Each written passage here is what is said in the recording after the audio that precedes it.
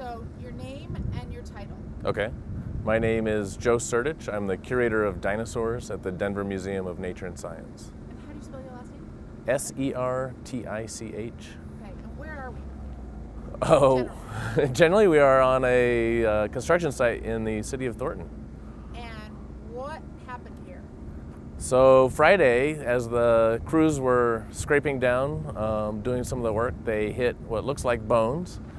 And I got a call Sunday night, yesterday, to come out and check it out. And as soon as I got on site, I realized it was a pretty important dinosaur find, which are pretty unusual in the Denver area. And after cleaning up the site, it looks like part of the skull of a Triceratops, a horned dinosaur, and maybe parts of the skeleton. So, you say it's an unusual find. Tell me about that.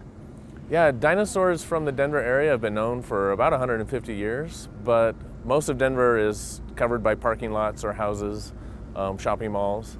And so it's pretty unusual to get down to the original rock layers that Denver sits on. And so whenever a construction site like this gets to the right level, so up here in Thornton, it get, got right down into the rocks that predate the extinction of dinosaurs.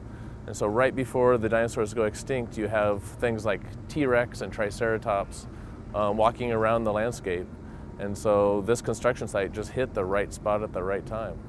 Do you feel pretty lucky? That, I mean, is this something that usually people just like keep going with their work and don't think about it? Do you feel lucky that this was found the way it is? Yeah, what's really unusual is getting some of these sites reported. So a lot of times these will be plowed up and they won't be recognized. Um, and we're really lucky in this case that it was recognized as fossils. And we got the call and we're out here and we're able to salvage the, the site and actually collect these fossils.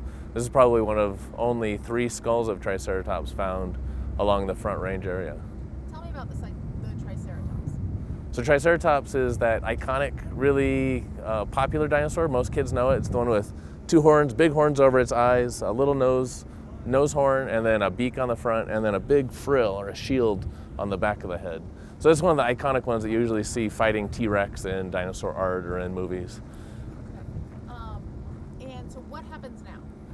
So the next steps, we've got the site kind of figured out. We know that there's a lot of bone. There's bone from the skull. There's also bones from the rest of the skeleton, which means it could be a pretty large area, could encompass most of a skeleton. And so the next steps will be to come out, expose more, but also stabilize and collect what has already been uncovered and, and uh, get that safely out of the ground. Had a home here for a long time, but he'll have a new home eventually. Yeah, this dinosaur has been laying here for at least 66 million years. Um, and we're going to get it out of the ground and get it cleaned up and hopefully rehoused at the Denver Museum and nice shiny new cabinets. So, talk me through the moments where, like, what were you thinking, feeling when you got the call that maybe dinosaur bones? So we get a lot of calls about fossils in the Denver area. Just last year we got a tusk from Cherry Creek, so those do come out of the ground regularly. And that usually happens to be Pleistocene, ice age, ice age fossils like uh, mammoths, uh, camels, things like that. And so when I first got a call about bones, that's why I assumed it was. It was another ice age site, um, mainly because this area was covered with ice age animals just 10 or 12,000 years ago.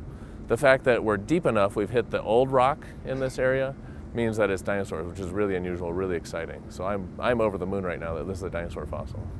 And when you came out here and realized what it was, what like what were you feeling? Oh, my heart was racing. As soon as I uncovered it and realized that this was the horn from a Triceratops and not just another leg bone or part of a hip, um, it made this site really exciting. What else? What didn't I didn't I ask you?